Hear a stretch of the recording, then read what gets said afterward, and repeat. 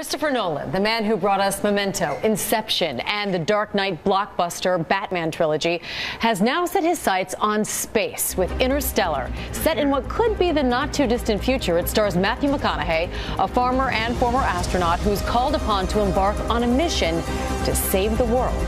You're the best pilot we ever had. I barely left the stratosphere. This team never left the simulator. We need a pilot, and this is the mission that you were trained for.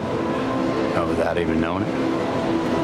An hour ago, you didn't even know I was alive. I mean, you, you, you were going anyway. We had no choice.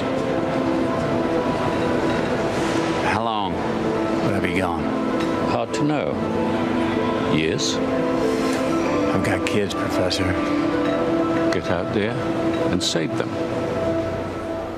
And we are thrilled to have director, writer, and producer Chris Nolan with us this morning. Thanks for being here with us. Thank you for having me. It is a remarkable film. It, it, I feel like it's very rare these days to go to a theater and to feel like you're literally in a different place in a different time. It was truly an experience. Is that what you were hoping to achieve? Yeah, we really wanted the uh, intense audience experience. We mixed the sound in a very unique way to, to really give the sense, you know, when a rocket takes off, everything is really designed at making a really immersive experience, really people, making people feel like they're, they're on this journey with these characters. I have to tell you, as a mother, it moved me because it was unexpected and you felt this father's anguish and turmoil.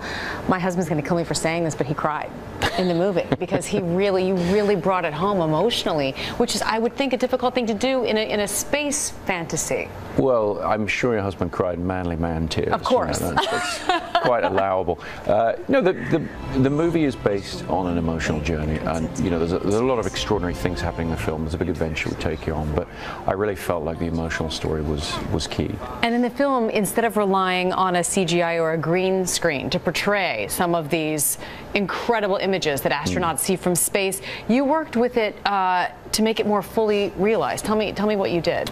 We took the decision early on. Um, we didn't want to use any green screens. I wanted the actors to come sit down in the cockpit of the spaceship and be, you know, in a simulator, not a set.